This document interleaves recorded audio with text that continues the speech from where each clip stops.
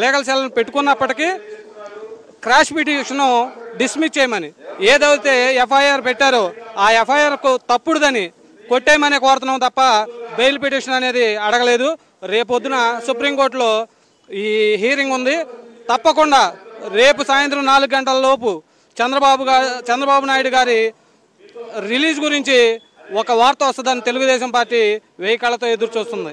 చూసుకున్నట్లయితే నారా బ్రహ్మణి గారు కానివ్వండి భువనేశ్వరి గారు కానివ్వండి తమ యొక్క సంఘీభావం తెలుపుతున్నారు. మహిళలే కాకపోకుండా స్వచ్ఛందంగా వచ్చేవాళ్ళు కానివ్వండి ఏదైనా ఎంతో ఎంతో నమ్మి చంద్రబాబు నాయుడు గారు ఒక విజనరీ నాయకుడిగా చూసి ఎక్కడికక్కడ వాళ్ళ నిరసనలో ఏదో ఒక సౌండ్ రూపంలోనో ఒక గెస్టర్స్ రూపంలోనో తెలియజేస్తున్నారు. దీన్ని బట్టి చూసుకుంటే చంద్రబాబు నాయుడు గారు కడిగిన ముత్యంలాగా బయటకు వస్తారని ఆశిస్తున్నారు? తప్పకుండా వందకి వెయ్యి పర్సెంట్ కడిగిన ముత్యంలాగా ఎటువంటి ఇలాంటి అక్రమ కేసులు మూడు వందల డెబ్బై ఒక్క కోట్లు కళ్ళ ఎదురుగా కనబడతా ఉన్నాయి. చేసిన ఆయన చేసిన అభివృద్ధి హైటెక్ సిటీ కానీ హెచ్సిఎల్ కంపెనీ కానీ అనేకమైన కనబడుతున్నాయి. మూడు వందల డెబ్బై ఒక్క కోట్లు. ఇంతవరకు చేసి ఇరవై ఒక్క రోజు ఇరవై రెండు రోజులు అవుతుంది. ఒక్క సిబిఐ కానీ వేరే ఏదైనా సరే ఒక్క ప్రూఫ్ అనేది చూపించలేకపోయింది. కోర్టులో కూడా రేపు మాపు రేపు మాపు. సుప్రీంకోర్టును మేనేజ్ చేయొచ్చు జిల్లా కోర్టును మేనేజ్ చేయొచ్చు. కానీ సుప్రీంకోర్టు రేపు రానున్న రోజు తప్పకుండా ఈ క్రాష్ పిటిషన్ కొట్టివేసి కడిగిన ముత్యంలాగా చంద్రబాబు గారు వస్తారు. వారికి మద్దతుగా నారా భువనేశ్వర్ గారు కానీ బ్రాహ్మణి గారు కానీ సంపూర్ణ మద్దతు తెలిపారు. అలాగే పవన్ కళ్యాణ్ గారు కూడా మోత మోగిద్దామని మొన్న కొట్టిన మోతకి తాడేపల్లి ప్యాలెస్లో ఉన్న సైకోకి గుండె స్టోక్ వచ్చేలాగా ఉంది. ఇంకా ఇవాళ కొవ్వొత్తుల ప్రదర్శన ఉంది. రాను రాను రేపు మహా మహా అయితే రేపు సాయంత్రం లోపు చంద్రబాబు గారు వచ్చే అవకాశాలు వందకు తొంభై తొమ్మిది పాయింట్ తొమ్మిది పర్సెంట్ ఉన్నది. క్యాష్ పిటిషన్ కొట్టేస్తారు.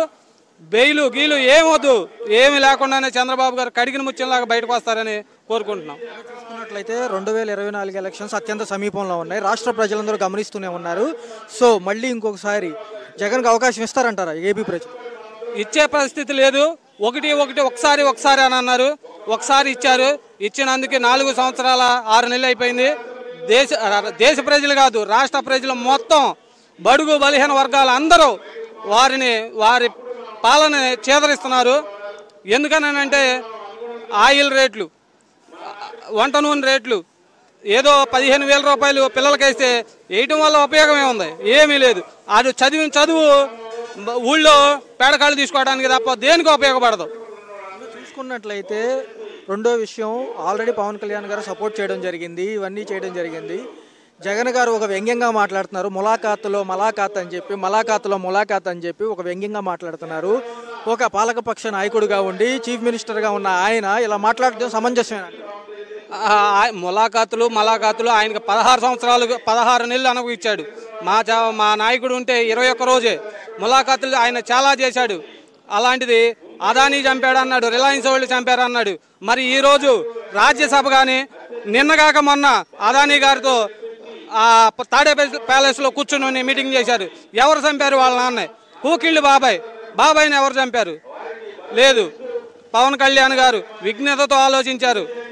ఇంకోటి ఇంకోటి చూసుకున్నట్లయితే సిఐడి కానివ్వండి సిబిఐ కానివ్వండి క్లియర్గా కట్గా తేల్చింది ఏంటంటే అవినాష్ గారు మర్డర్ కేసులో ఆయన క్లియర్ కట్గా ఈయనే మెయిన్ హస్తం అని చెప్పి జరిగింది. ఆల్రెడీ అప్రూవల్గా మారిన వాళ్ళు కూడా చెప్పారు. ఆల్రెడీ క్లియర్ అయిపోయింది దాంట్లో మా అమ్మగారికి బాగాలేదని చెప్పి లేకపోతే అక్కడిగా బాగాలేదని చెప్పి బయట తిరిగి నా పర్సన్ తప్పించుకుంటూ తిరుగుతున్నారు. ఎటువంటి ఒక డొల్ల కేసు పెట్టి దీనిపైన ఇంత కాన్సన్ట్రేషన్ చేస్తుంది ఈ ప్రభుత్వం? నిజంగా నిర్ధారణ అయిన కేసుని డైవర్షన్ పాలిటిక్స్ అంటారా?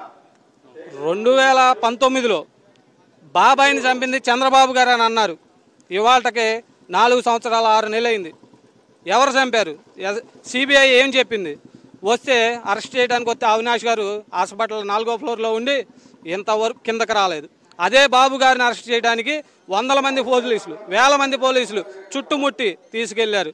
మీకు నీ రక్తం ముంచుకున్న పుట్టు పంచుకొని పుట్టిన నీ బాబాయ్ ఆయన ఎవరు చంపారు ఇంతవరకు తెలియదు నీకు. నీకు తెలుసు అవినాష్ గంగిరెడ్డి భాస్కర్ రెడ్డి వీళ్ళు తెలుసు. కానీ చంప వాళ్ళని ఇది చేయడానికి లేదు. తప్పుడు కేసులో మూడు వందల డెబ్బై ఒక్క కోట్లు మూడు వేల కోట్లు సైమెన్స్ కంపెనీ ఈయన పుట్టక ముందు నుండి సైమెన్స్ కంపెనీ ఉంది. ఇవాళ కాదు సైమెన్ కంపెనీ ఈయన పుట్టక ముందు నుండి ఉంది. వేల కోట్ల టర్న్ ఓవర్ ఉంది. అట్లాంటి వాళ్ళు టెన్ పర్సెంట్ గవర్నమెంట్ ఇచ్చింది. రెండు వేల ఏడు వందల కోట్లు సైమెన్స్ కంపెనీ ఇచ్చింది. అవినీతి అన్నారు. ఆ నాలుగు క్లస్టర్లో అనేక మంది ప్రాజెక్టులు ఉన్నాయి ఎంక్వైరీ చేశారు. చేయలేదు. ఎవరో వాళ్ళకి సంబంధించిన ఇద్దరు క్యాండిడేట్లను పెట్టి ఏదో ఆడిట్ చేసి అవినీతి జరిగిందన్నారు. నిజమైన అవినీతి జరిగి ఉంటే ఈ ఇరవై ఒక్క రోజుల్లో సిబిఐ కోర్టులో కానీ హైకోర్టులో కానీ సుప్రీంకోర్టులో కానీ మీరు ఒక్క సాక్ష్యం కూడా చూపించలేకపోయారు. చంద్ర మరి అవి మన వివేకానంద రెడ్డి గారు చనిపోయి సిబిఐ ఈడీ మొత్తం వీళ్ళందరూ ఉన్న ఏ అయితే ఇంట్రాగేషన్ సంస్థలు ఉన్నాయో అన్నీ కూడా అవినాష్ రెడ్డి భాస్కర్ రెడ్డి చుట్టూ తిరుగుతున్న వాళ్ళని అరెస్ట్ చేయకుండా బెయిల్ మీద తిప్పినటువంటి ఘనత ఈ సైకో జగన్ అని తెలియజేస్తున్నాం. ఇప్పుడు చూసుకున్నట్లయితే ఫైనల్గా పవన్ కళ్యాణ్ గారు నిన్న అవనగడ్డి సభలో ఏం చెప్పారు అంటే పదిహేను సీట్ల కంటే ఎక్కువ రావు మీకు రెండోది ఈయనేమో why not one seventy five అంటున్నాడు. ఎక్కడన్నా సాపెత్తం ఉన్నది అది ఏదో మీరు మొన్న వినే ఉంటారు why not seventy one seventy five అన్నాడు. మొన్న మంత్రుల సమావేశంలో నెత్తి మీద బొచ్చు ఉంటేనే కదా అన్నాడు. అంతకుముందేమో నొత్తి ఎంటికి పీకలేరు అన్నాడు.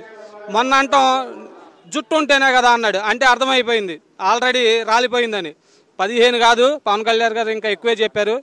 మా అవుతే అన్ని కూడా పది పదకొండులోనే. ఇంకొకటి ఇవాళ మా బాబు గారు ఇరవై మూడు ఇవాళ ఇరవై ఒకటో రోజు. రేపు రానున్న జగన్ ప్రభుత్వం ఏది? దిగిపోయిన తర్వాత జరిగే ఎలక్షన్లో ఇరవై ఒకటి ఇరవై రెండు సీట్ల కన్నా జగన్ పార్టీకి రావు రాసి పెట్టుకోండి. ఫైనల్గా చూసుకున్నట్లయితే రెండు వేల ఇరవై నాలుగులో ఫామ్ అయ్యే గవర్నమెంట్?